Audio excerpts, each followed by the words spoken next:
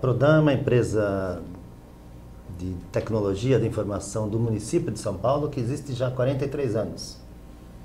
Ela né, já tem uma história longa, no tempo em que a tecnologia não era assim, uma coisa tão presente na administração pública. Teve um longo período que ela ficava ali no Ibirapuera, né, ao lado do gabinete do prefeito. E ela, desde então, se dedica exclusivamente a TI na área pública. Ela provê os TI da, do município de do São município Paulo. de São Paulo, fundamentalmente. Tem, ela provê para alguns outros municípios, mas na verdade 95% da receita da Prodan são contratos com a Prefeitura de São Paulo. Ela foi uma iniciativa de qual governo, você se recorda? Não me recordo. Mas É, há 43 anos, eu não, Né? Nós não éramos Não nascidos ainda. né? eu já era nascido, mas Mas ou seja, ela começou, de qualquer forma é interessante esse dado, porque 43 anos, nós estamos falando, nós estamos em 2014, nós estamos falando da, na época de 1970, né? isso. Mais ou menos quando É. começou realmente na, na época daqueles computadores ainda com aquelas fitas que ficavam rodando, aqueles Fitas grandes tavam- data centers, é, né? Sim. E tem alguns aspectos interessantes no, eu, assim, de, de- de histórias, né? Eu sei que, por exemplo, no início do metrô, o metrô usava o birô da Prodan para fazer processamento de dados. Isso hum, bem no início, né? Ele ainda não tinha data center próprio, né? Então ela tem uma história com, com São Paulo já de longa data, né? Ela é uma, uma empresa hoje é 100% pública, é uma empresa de economia mista, como é que ela funciona? É uma SA.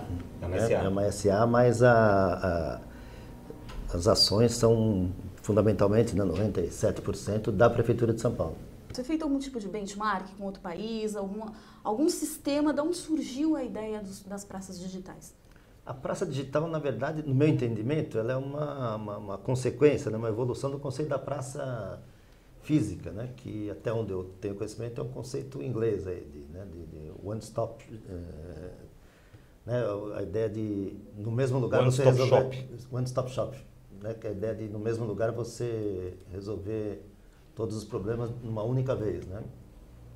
Eh, esse conceito que foi desenvolvido no, no- no Brasil aí na- na, uma década atrás, uma, duas décadas atrás, né? E esse conceito, no meu entendimento, ele foi migrado para os sites, né? Para a plataforma digital. Né?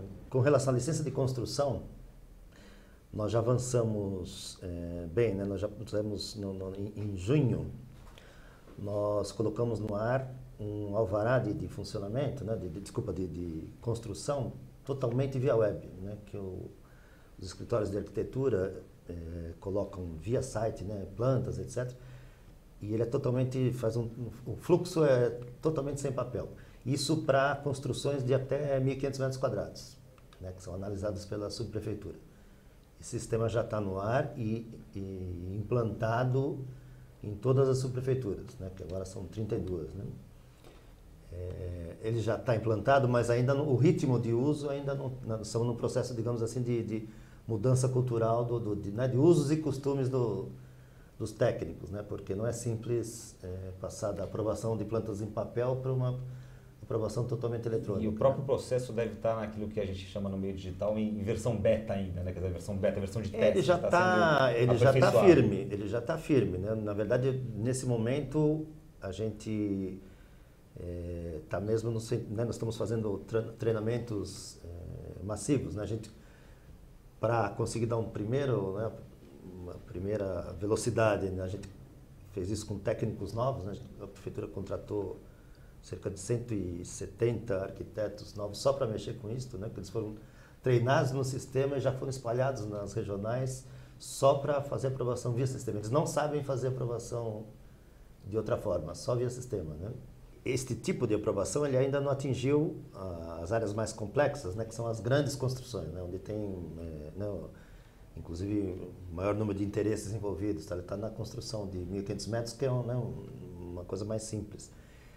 É, nisso a gente já tem algumas manifestações de que a coisa funciona bem, né? Em algumas prefeituras ela- já está funcionando é, né, em ritmo assim, já sem filas, tudo né, tudo está sendo aprovado em tempos, mas a gente ainda não tem massa crítica em termos de, de informação estatística confiável, né? São foi implantado em junho, né? Tá- então está numa curva de aprendizagem. Ainda a gente não tem as informações para dizer, por exemplo, qual que é a média de tempo. Ainda está Não Eu digo assim, mas né? independente de estatísticas, digamos, essas entidades apoiam essa facilitação, essa, essa informatização, essa, essa digitalização do processo, ela é querida, ela é bem-vinda. Sim, para essas construções sim, simples, né? Ainda existe uma certa é, descrença com relação a que a gente consiga fazer isso com as construções de maior complexidade. Mas a gente tem um projeto de aos poucos ir, ir evoluindo para até chegar em 100% da aprovação. Em países via como, em países como site, né? Inglaterra, né? como como Estados Unidos, é, é, esses processos são feitos é, por meio digital, integralmente, mesmo não, digamos de grandes construções. Olha, eu não tenho informações, eu não, não consigo te até porque não, é, é, meio temerário comparar os processos, é porque tem diferenças grandes, né, de, de um local para outro na verdade, a, a, população faz uma distinção. O, mesmo que a lista de serviços digitais e presenciais sejam, ou por telefone, sejam os mesmos, né? Uhum. É, a população, né, por, por pesquisas, né, por, por, pesquisa, desculpa, a gente percebe é, que a população faz uma diferenciação. Né? A tendência é, quando a coisa envolve documento, a tendência é procurar o balcão, né? quando envolve, por exemplo, reclamações de manutenção da cidade, por exemplo, o semáforo quebrado, buraco, etc., a tendência é telefone, né? E para uma série de outros serviços a tendência é internet, quer dizer, já tem uma certa separação natural, né? Mas são serviços que, quer dizer, um bom, um bom sistema de atendimento, ele teria os mesmos serviços nesses três locais, né? Via telefone, via web e, e presencialmente. presencialmente.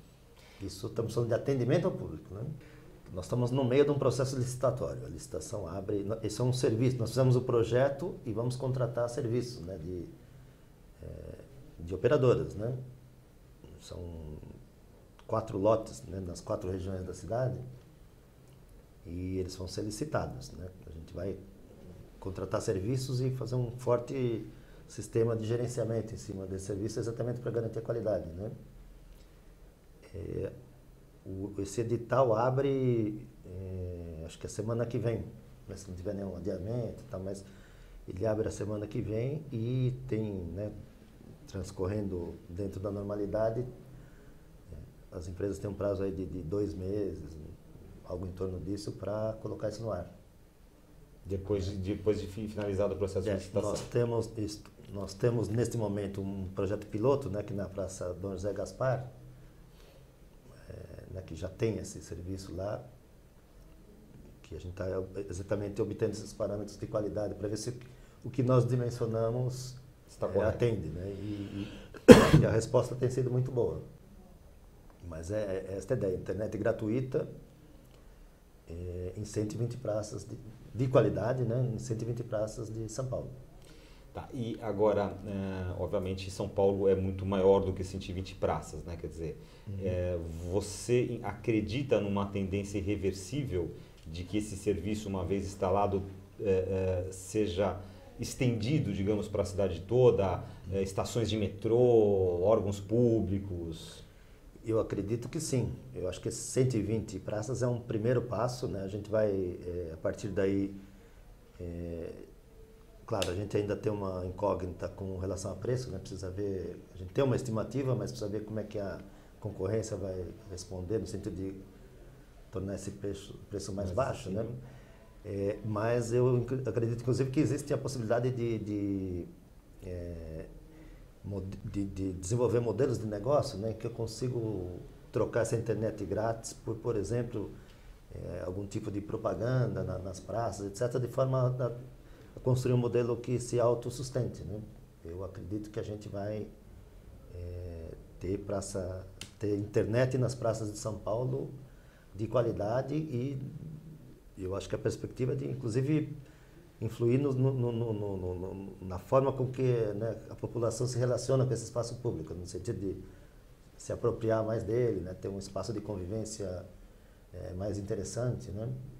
Eu acredito que isso possa, né, com o tempo, ser uma marca de, da cidade.